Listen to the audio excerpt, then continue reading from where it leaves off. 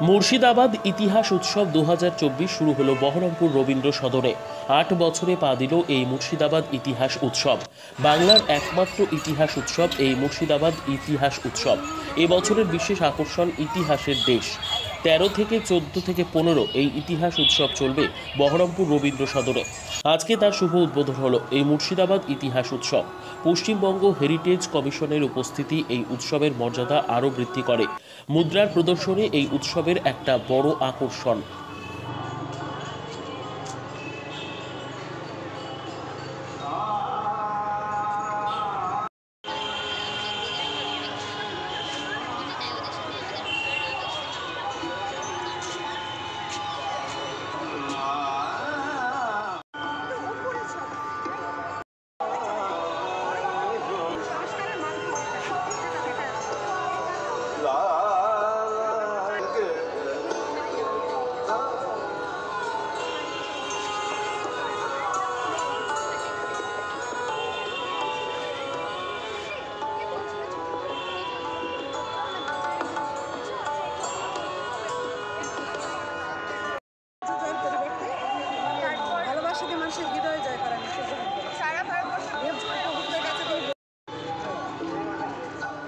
মুর্শিদাবাদ ইতিহাস উৎসব দু হাজার চব্বিশ শুরু হলো বহরমপুর রবীন্দ্র সদনে। আট বছরে পা দিল এই মুর্শিদাবাদ ইতিহাস উৎসব। বাংলার একমাত্র ইতিহাস উৎসব এই মুর্শিদাবাদ ইতিহাস উৎসব। এবছরের বিশেষ আকর্ষণ ইতিহাসের দেশ। উপস্থিত সর্বজনীন উদ্যোগে এইভাবে হয় না। ইতিহাসের মাটি এখানে কিন্তু হচ্ছে, অষ্টম বর্ষে এবার পা দিল। প্রথম বছর যখন আমরা শুরু করেছিলাম এই রবীন্দ্র সদন থেকেই, তখন মনে হয়েছিল ইতিহাস উৎসবটা আবার কি? কিন্তু পরপর কন্টিনিউ আমরা দেখেছি যে ইতিহাস উৎসব কোন জায়গায় এসে দাঁড়াল। আপনারা দেখতে পাচ্ছেন যে আমরা বলি যে নবীন প্রজন্ম ইতিহাস বিমুখ।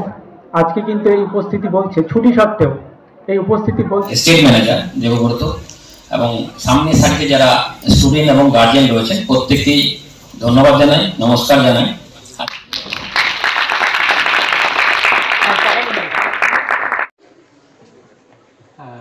ইতিহাস উৎসব দু হাজার চব্বিশ।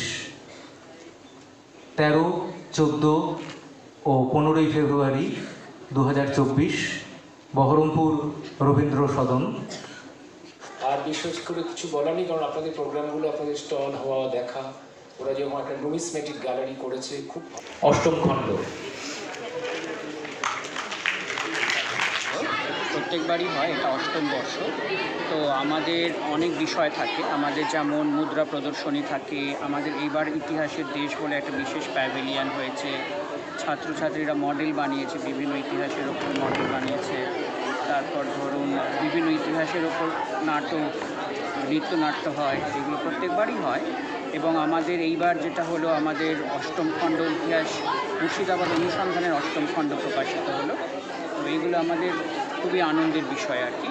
আর তার সঙ্গে আমাদের যেটা অ্যাডেড আমাদের যেটা পাওনা এবার, সেটা হচ্ছে যে রাজ্য হেরিটেজ কমিশনের যিনি সম্পাদক, তিনি আমাদের এখানে এসেছিলেন। তো সেইটা আমাদের কাছে একটা খুব, এবং উনি আমাদের বললেন যে ভবিষ্যতে আমরা একসঙ্গে কাজ করতে পারি, এটা আমাদের কাছে একটা বড়।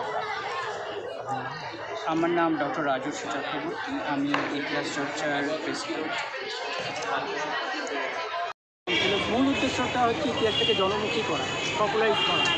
এতে আপনারা দেখতে পাচ্ছি যে কী প্রচুর পরিমাণ ছাত্র ছাত্রী প্রচুর মানুষ এসেছে। আমরা এটা তিন দিন ধরে চলবে তবে সবার আমরা নেক্সট ইয়ার এখান থেকে যদি কোনো রকম ভালো ভালো রিটার্ন পাই আগামী দিনে এটাকে পাঁচ দিনে নিয়ে যেতে চাই।